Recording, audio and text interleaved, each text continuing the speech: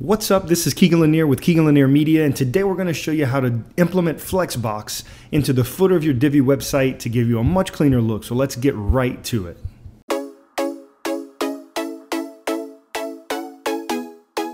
We are in the back end of WordPress. We're looking at dashboard right now, and I want to show you exactly how we're going to get there. So the first thing you need to do is make sure that under appearances, and menus, you actually have a menu assigned to your footer. So we built this test footer here. We've got six pages and it's assigned here to the footer menu. That's key or else you won't have anything to, uh, the, the code won't have anything to adjust.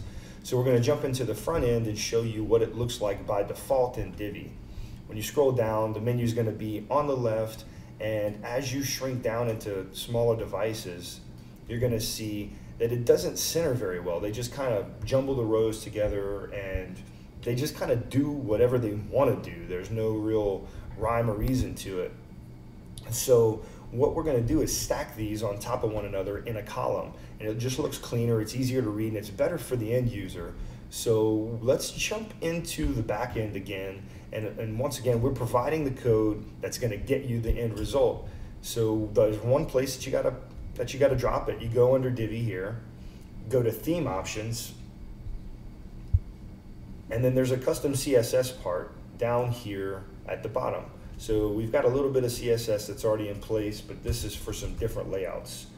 Uh, again, we provided the code, but this is what you want to plug in. Now we'll explain kind of what's going on here.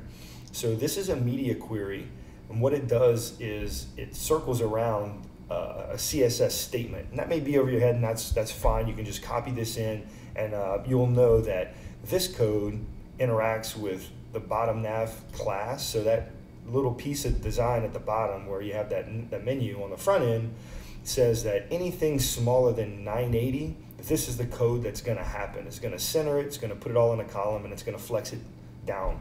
Um, this part here is the same exact class. It's just saying that on a screen that's bigger than 980. So anything 981 and up, it's going to just center the content. So we're going to push it all to the middle. So we saw what it looked like before. Now we're going to save it to where we add this code and we'll jump back into the front end and you'll be able to see exactly what this menu looks like now.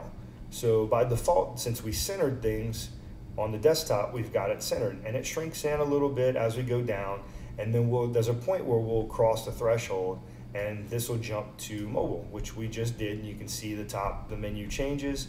When you go back down, everything is now stacked perfectly in the center and it just looks really good. I'm a huge fan of this. I think it looks much, much better than having things that aren't aligned or not centered. And this goes all the way down. So as you shrink down into the phone, it's gonna stay that exact look. So you can put a section right above it that says menu or has you know whatever header you want for that sub menu or for the footer menu rather. And it's just another way to style things and make them look great. And this can be used on any class if you're familiar with CSS. You can take that code and that way anything that's mobile is gonna shrink and it's gonna stack on top of one another. And it just looks, it just looks better, I think. So we hope that this has been beneficial. We hope that you really get some use out of this. The code will be provided um, in the description below. And feel free to leave comments. We'd love to hear your feedback. We'd love to see how you can take this and maybe apply it to different classes or use it in a different way altogether. Thanks so much for being here. Thanks for liking the video. Hope you subscribe to the channel. And yeah, we'll see you in the next video.